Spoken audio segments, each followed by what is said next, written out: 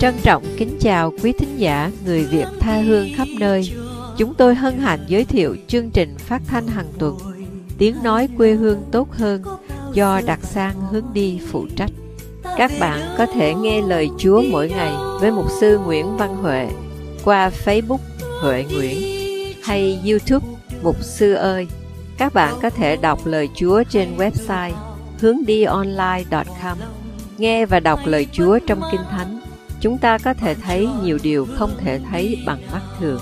Đức Chúa Trời là đấng tạo hóa có một và thật, không hề thay đổi. Đã hứa, các ngươi tìm kiếm ta và gặp được khi các ngươi tìm kiếm ta hết lòng. Hy vọng các bạn tìm kiếm Chúa và gặp được Chúa hôm nay. Amen. Quý ông bà, anh chị em lắng nghe và vui lòng cho chúng tôi biết ý kiến. Quý vị có thể liên lạc với mục sư Nguyễn Văn Huệ, số điện thoại 469 493 2307 hoặc email đặt sang hướng đi at gmail.com. Chân thành cảm ơn quý vị thính giả. Hạnh phúc và bình an, bạn chân chưa chi nữa. Hãy cùng đi với tôi. Thân ái kính chào toàn thể ông bà anh chị em khắp nơi.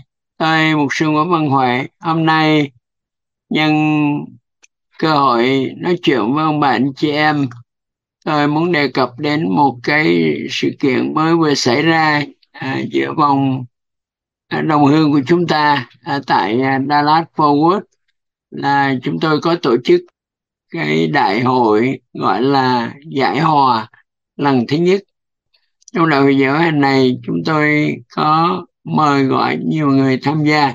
Và đặc biệt có một số người từ Việt Nam qua.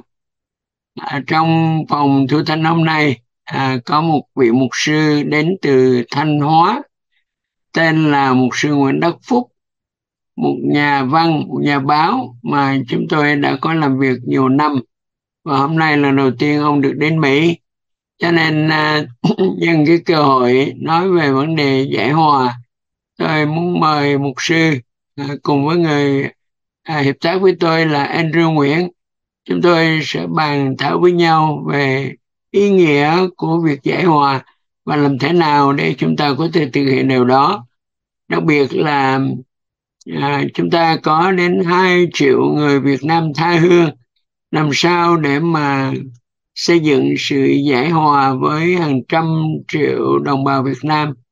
Rồi trong mỗi gia đình cũng cần có sự giải hòa. Trong mỗi đời sống hay là trong cộng đồng chúng ta rất cần sự giải hòa. Và chúng tôi trao đổi với nhau để tìm ra một cái giải pháp thích hợp nhất và kết quả nhất.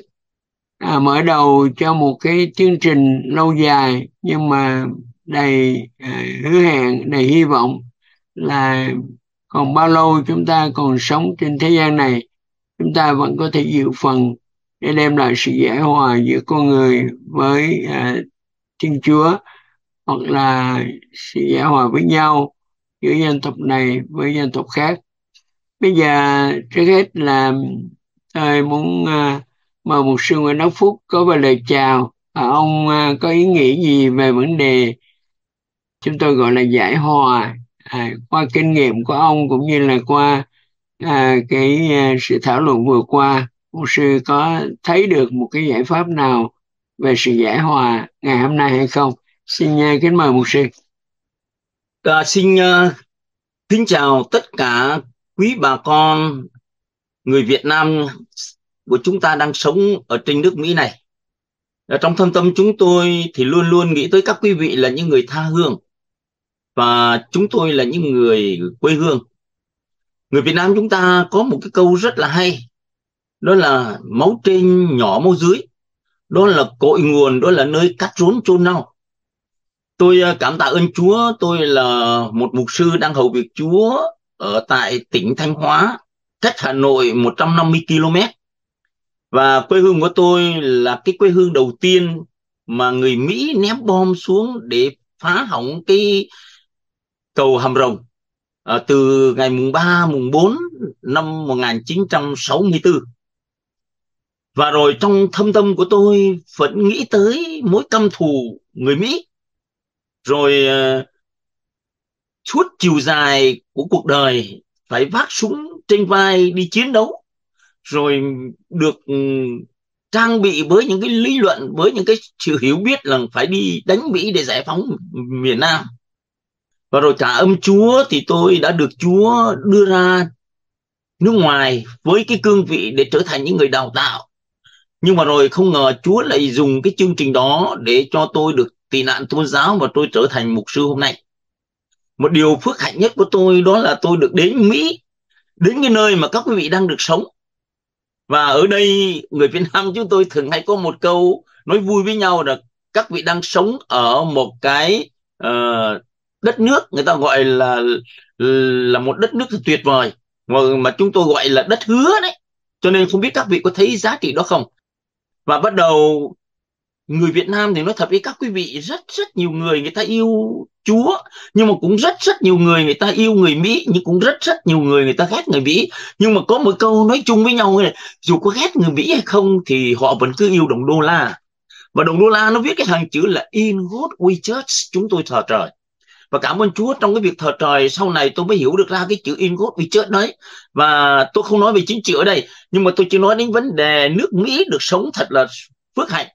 Một người công dân nước Mỹ có thể có nhà, có xe hơi để đi, nhưng mà người công dân của nước Việt Nam chúng ta cũng phải có nhà, có cửa đi đi, nhưng mà rất vất vả, rất tần tảo, không biết bao giờ mới làm được căn nhà đây là một cái điều mà chúng ta thấy đó cũng là một cái phước hạnh. Nhưng dù sao thì cũng nhắc với các quý vị biết một điều là đất nước của chúng ta ở Việt Nam bây giờ cũng đang có rất nhiều cái thay đổi và thay đổi đáng kể. Nhưng hy vọng rằng cái điều quan trọng đó nó là một vấn đề cho quốc gia cho dân tộc cho giống nòi của chúng ta. Với hai cái chữ là chúng tôi hay nói một câu là uh, máu đỏ da vàng mũi tẹt của chúng ta. Nhưng mà cảm ơn Chúa thì thật là tuyệt vời. Khi chúng ta ở trong Chúa Giêsu thì chúng ta trở nên anh em với nhau. Thưa các quý vị đây là một cái hội nghị mà tôi thấy phước hạnh vô cùng cho nhân loại chúng ta nói chung và cho những người Việt Nam nói riêng. Đặc biệt đây là một cuộc hội nghị, chúng ta nói là có một không hai đầu tiên ở trên trái đất này. Bởi vì chúng ta có một cái cuộc hội nghị đại hội gọi là giải hòa giải quyết mọi nan đề để rồi trở lại hòa hạt với nhau. Tôi biết các vị nghe tôi đang nói ở đây và trong lòng các quý vị cũng đang rất hận thù cộng sản. Tôi biết rằng có các quý vị hiện nay đang ngồi ở đây nhưng cũng đang rất hận thù về cái người miền bắc rồi có những cái điều này và điều kia. Nhưng mà tôi muốn nói các vị chính vì những điều này, điều kia đó mà đất nước chúng ta chưa có được Chúa ban phước.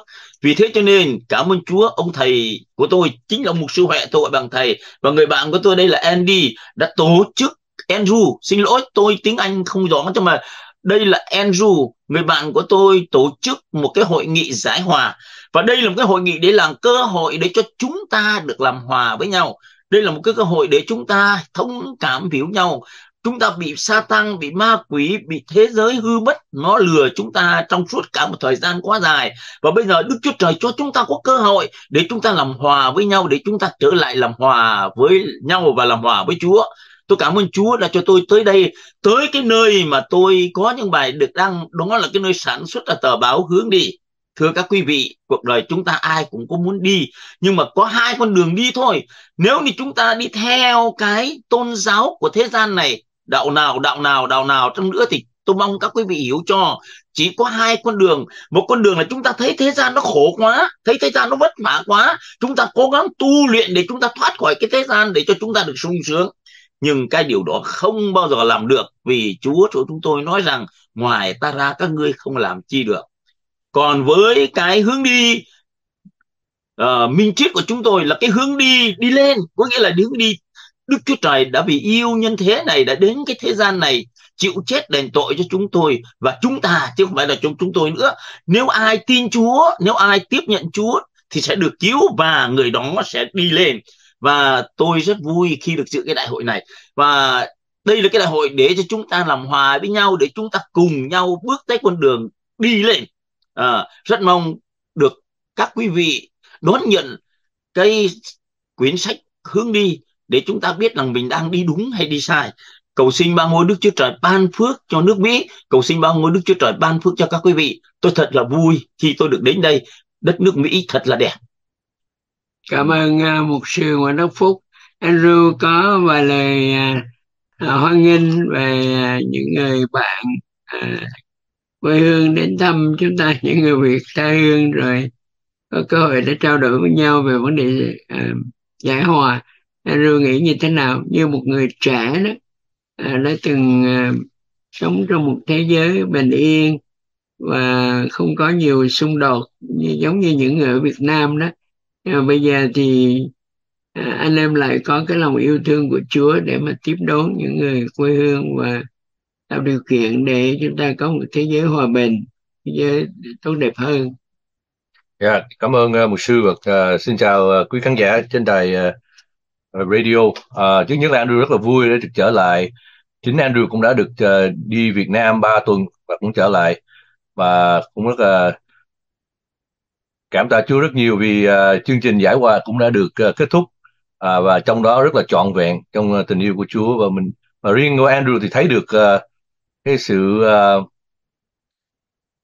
cái sự phép lạ và qua những bài làm chứng như là quý vị cũng đã nghe chuyện của mục sư Phúc ở Thanh Hóa đã làm việc uh, và theo uh, theo quý vị có theo chương trình uh, trên YouTube thì quý vị cũng sẽ nghe các uh, um, các bài làm chứng của các uh, vị mục sư khác. Nhưng mà mình thấy ở đây là mình sống uh, ở bên nước Mỹ này mình rất là sung sướng. Ngày mai chúng ta là ngày July 4th là được uh, uh, dự được được uh, kỷ niệm. Để nhớ lại ngày Independence là ngày tự do. Nhưng mà mình phải nhìn lại cái tự do là cái gì? Đất nước Mỹ này là giống một sư Phúc đã nói in God we trust. Là đất nước Mỹ là được giải hòa với Chúa từ hồi ban đầu khi uh, tiếng Anh gọi là the founding father. Thì cái đó là Chúa đã ban phước cho nước Mỹ này thì trong lòng Andrew cũng hy vọng là một ngày nào đó nước nước Việt Nam của chúng ta cũng dựa vào cái điều đó mà giải hòa với Chúa. Cũng in God we trust để được đến cái tự do đó để để sau này mỗi người chúng ta ở nước Mỹ ở Việt Nam cũng được uh, tôn vinh Chúa trong một cái hoàn cảnh tự do không phải là bị bắt bớ như là mấy câu chuyện mình đã nghe qua trong cái bữa giải hòa và hội nghị giải hòa. Thì đó là trước nhất là một lần nữa muốn uh, welcome một sư Phúc đến Mỹ. Welcome to America. Và cũng được uh, rất vui được tiếp đón một sư và dẫn một sư đi uh, nhiều nơi ở Mỹ. Hy vọng là cái kỷ niệm này sẽ đem cho một sư một cái uh, khích lệ và một thêm đức tin và hầu việc Chúa mạnh mẽ hơn ở Việt Nam. Để mai mốt sẽ có dịp khác để qua đây lại. Cảm ơn cảm ơn Chúa cảm ơn Andrew và một sư huệ một điều tôi muốn nói cho các quý vị biết thêm đó rằng là có lẽ trong lòng các quý vị còn mang cái hận thù giữa miền Bắc Việt Nam. Nhưng mà các quý vị hãy nghĩ lại một chút không? Cảm ơn Chúa qua cái chương trình đó mà các quý vị được sang đây. Và cảm ơn Chúa qua cái chương trình đó. Ông trời ông sinh ra cái điều đó. Đức Chúa Trời của chúng ta sinh ra cái điều đó để các quý vị có cơ hội sang nước Mỹ để sống nhiều năm tháng qua. À, đây là một điều mà à, người Việt ta nói là trong họa thì có phước mà trong phước thì có họa cho nên chúng ta thấy rằng là chưa hẳn là chúng ta trong họa chúng ta có phước nhưng chưa hẳn chúng ta sống ở Mỹ này sung sướng thật đấy nhưng nếu chúng ta không có Chúa thì chúng ta cũng rất dễ có họa. Cho nên cầu xin Chúa ban phước để các quý vị hiểu ra được con đường chọn hướng đi cho mình trong cuộc đời này. À, chúc các quý vị mỗi ngày được phước hạnh hơn. Tôi chúc phước cho nước Mỹ và tôi chúc phước cho hết thảy những người Việt Nam đang sống trên nước Mỹ này. Cảm ơn mục sư đã có bài à, ý kiến về vấn đề giải hòa. À, riêng nhận xét của tôi thì tôi thấy rằng cho đến ngày hôm nay thế giới vẫn còn ở trong một cái hoàn cảnh mà nhu cầu của sự giải hòa vẫn hiện ra trước mắt chúng ta. Có rất nhiều xung đột trên thế giới có chiến tranh có chia rẽ có tranh cãi có thành kiến phân biệt chủng tộc chủ nghĩa khủng bố chủ nghĩa bè phái tràn ngập thế giới này kết quả là chúng ta đã phá vỡ những mối quan hệ. Chúng ta có kinh tế suy thoái, chúng ta có chính quyền hư nát, chúng ta có những hôn nhân đổ vỡ, chúng ta có những cuộc sống đau thương, những tấm lòng tan vỡ. Và vì vậy thì đúng như lời Chúa nói trong kinh thánh, chỉ có Đức Chúa Trời mới có thể giải quyết những nan đề này bởi vì con người phạm tội với Chúa. Mọi điều đó bởi Đức Chúa Trời. Ngài đã làm cho chúng ta nhờ Đấng Christ mà được hòa thuận lại cùng Ngài và đã giao chức vụ giải hòa cho chúng ta. Vì chương Đức Chúa Trời vốn ở trong Đấng Christ làm cho thế gian lại hòa với Ngài, chẳng kể tội lỗi cho loài người và đã phó đạo giảng hòa cho chúng ta. ngày hôm nay mỗi người chúng ta đều được giao phó một cái nhiệm vụ là ừ mỗi người là một đại sứ giải hòa Amen. và trong thế hệ của tôi thì tôi đã nhìn thấy là 30 năm ở Mỹ cũng như là 50 năm theo Chúa và hầu việc Chúa thì Chúa cho mỗi người chúng ta có cơ hội để đem lại sự giải hòa của cho đồng bào của chúng ta đối với Chúa và đối với nhau đặc biệt là cái ý niệm về giải hòa trong gia đình gia tộc và trong gia tộc Việt Nam. À, hy vọng rằng à, mỗi người chúng ta suy nghĩ và góp phần của mình vào đó. À, đừng có gây hận thù đừng có chia rẽ đừng có tạo thêm cái bất hòa nhưng mà hãy cố gắng đem lại sự giải hòa à, cho gia đình cho dòng tộc và cho quê hương để chúng ta có một gia đình tốt hơn và một quê hương tốt hơn Amen. Dạ, tôi tin đây là niềm hy vọng của hết thảy chúng ta và cảm ơn Andrew, cảm ơn mục sư và cảm ơn ông bà anh chị em lắng nghe. Chúng ta sẽ suy nghĩ và và ứng dụng cái à, việc này trên tầm mức lớn hơn, lớn hơn à, để mỗi người chúng ta đều nhìn thấy cái vai trò quan trọng mà Đức Chúa Trời dành cho chúng ta trong thời đại này. Xin cảm ơn.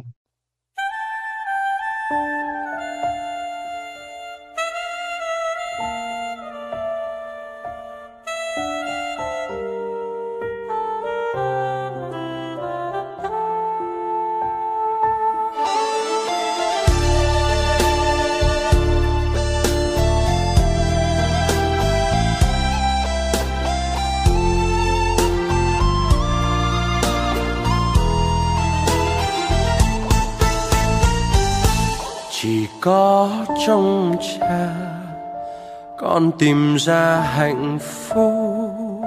Chỉ có trong cha, con nhận ra lẽ sống.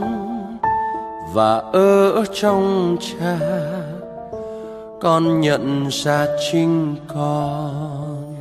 Lòng này mãi hướng về cha trái tim con đắm say ơn lành cha.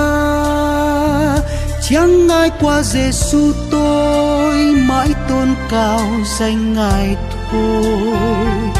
Bao yêu thương dâng trào, con yêu ngài yêu ngài. Con đã từng ngoảnh chúa đi xa, con đã từng trôi chúa hôm qua con đã từng dối trá điều hòa để hôm nay con quay về bên chúa. Vì cuộc sống bon chen thật khắc nghiệt, vì cam dỗ đam mê thật khốc liệt con hao mòn năm tháng đua tranh, bên cuộc đời dòng tố vây quanh, con cuốn theo lợi danh chúa đến sưởi ấm, trái tim lạnh căng. Và hạnh phúc đã đến, lấp đi bao sầu than và băng giá trong con như vừa tan với con Giêsu là tất cả. Ngài là sự sống trong con. Mãi mãi trong con. Sẽ mãi trong con, vẫn mãi trong con.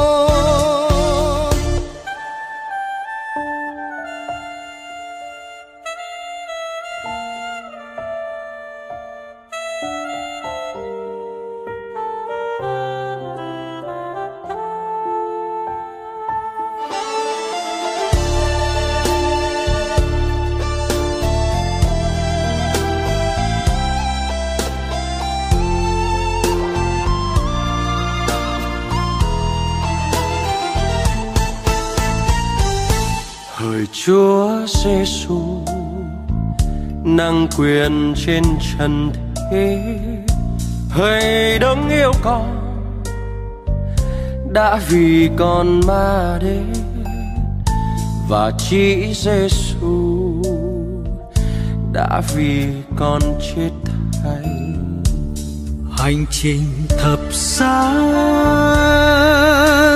ngày mai đã lưu danh thế nhân chỉ vì yêu. Chẳng ai hơn Giêsu tôi, mãi tôn cao danh ngài thôi. Bao yêu thương dâng trào con yêu ngài yêu ngài. Con đã về với Chúa yêu thương con đã về nước mắt thôi tuôn con đã về chối bỏ cô đơn. Để hôm nay con vui mừng bên chúa. Xin hãy nắm tay con thật chắc vào. Xin hãy dõi theo con dù chốn nào. Con bên ngài không muốn chia xa. Con không về lối cũ hôm qua. Con sống trong nhà cha. Rồi chúa đến sưởi ấm trái tim vỡ tan và hạnh phúc đã đến lấp đi bao sầu than. Ngày chúa đến cất đi bao ngổn ngang. Với con Giêsu là tất cả. Ngài là sự sống trong con. Mãi mãi trong con, sẽ mãi trong con vẫn mãi trong con ngài là sự sống trong con, mãi mãi trong con, sẽ mãi trong con, vẫn mãi trong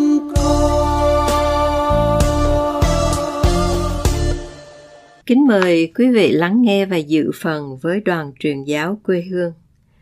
Chúng tôi đào tạo và sai phái các giáo sĩ với phương châm bởi người Việt, với người Việt, vì người Việt, từ người đến người, từ nhà đến nhà, từ dân tộc đến dân tộc. Chúng tôi đang truyền giáo cho các dân tộc thiểu số ở Việt Nam, tham gia các chuyến đi truyền giáo quê hương, phân phối sách báo tin lành, gửi tặng đặc sang hướng đi, vận động tài chánh và trực tiếp xây dựng phòng vệ sinh, khoan giếng, cứu trợ. Nhân sự hiện có, trưởng đoàn, mục sư giáo sĩ Nguyễn Văn Huệ cùng các cộng sự viên, phùng tị, lo khoan giếng, làm phòng vệ sinh, mua tặng mùng mền, trị rắn độc. Đinh Văn Thắng, lo chứng đạo, dạy kinh thánh, mở hội thánh mới. Pui nấu, lo chứng đạo, dạy kinh thánh, mở hội thánh mới. Nguyễn Thị Tuyết Mai lo dạy may, dạy kinh thánh cho các nhóm phụ nữ. Đỗ Thúy Ngân đồng hành cùng mẹ và bé, giúp các bà mẹ mang thai và nuôi bé mồ côi. Thạch Phứng lo truyền giáo cho người Khmer ở Sóc Trăng. Phụ giúp hành chính cô Lê Nhi Na ở Georgia, Hoa Kỳ. Phụ giúp phiên dịch có cô Vân Anh ở Texas, Hoa Kỳ. Chúng tôi tin quyết như lời Chúa phán dạy. Tin lành này về nước Đức Chúa Trời sẽ được giảng ra khắp đất để làm chứng cho muôn dân. Bấy giờ sự cuối cùng sẽ đến. Matthew đoạn 24 câu 14 Quý vị có thể liên lạc, dân hiến, gửi check qua hướng đi The Way of Vietnamese Family of Faith PO Box 57 0214 Dallas, Texas, USA hoặc chuyển ngân trực tiếp qua Zelle 469 493 2307. Hướng đi cho cuộc đời, đi xuống hay đi